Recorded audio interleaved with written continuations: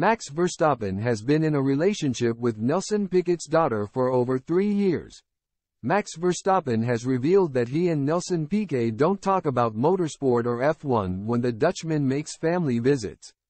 The reigning world champion has been in a relationship with the legendary former Brazilian racer's daughter, Kelly Piquet, since 2020.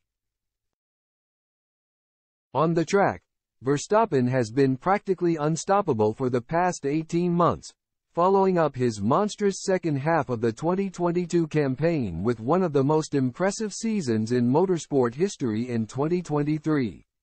The 26-year-old won 19 out of a possible 22 Grand Prix last year, breaking numerous records en route to his third successive world title. However, the Red Bull star is keen to keep his personal life and motorsport life separate, keeping a close circle of friends and often opting to stay out of the limelight in between race weekends. While other drivers are regularly spotted at other sporting events and shows, Verstappen prioritizes time with his family in order to unwind. Since 2020, this has involved spending time with his girlfriend Kelly, and her young daughter Penelope, who was born during her relationship with former Red Bull driver Daniil Kvyat. She is also the daughter of three-time world champion Nelson Piquet.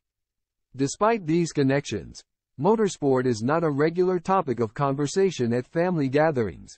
Speaking to Formula One, NL about his downtime away from the world of motorsport and his distaste for the role that social media plays, Verstappen explained. What I do privately is nobody else's business. The three-time world champion was then asked whether or not that protects him from some of the online abuse and criticism, to which he replied, That's true. But I don't follow that many Formula One related accounts or people anyway. I consciously ignore a lot of Formula One news. Then at some point, it doesn't pass by in my timeline either. Actually, I only follow other sports and athletes to get balance in my life that way.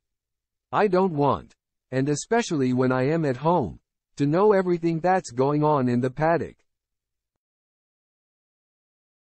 That certainly also applies to family visits in Brazil. When I see my father-in-law, Piquet, then we really don't talk about motorsport. He has talked more than enough about that in his life. At a certain point, you don't feel like talking about it anymore either. You're done talking about it. I do understand that there is more to life.